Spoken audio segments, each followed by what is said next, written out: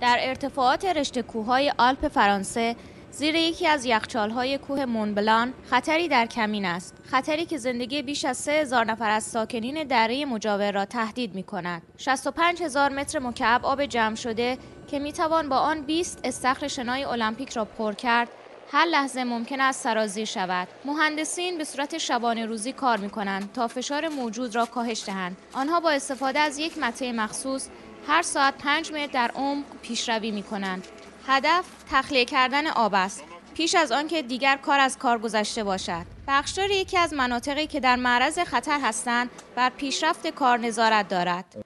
ما در حال برداشتن دریچه اطمینان یک دیگ زودپز هستیم. یعنی مشغول ایجاد شکافی در این کوه یخ هستیم تا بتوانیم آب را بیرون بکشیم و فشار این حوضچه آب را کاهش دهیم. این موضوع یک تهدید جدی برای سنجوبه و منطقه ماست.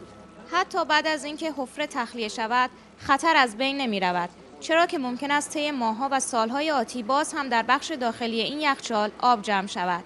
و این اولین بار نیست که یک حوضچه آب شهرک‌های اطراف را مورد تهدید قرار داده است.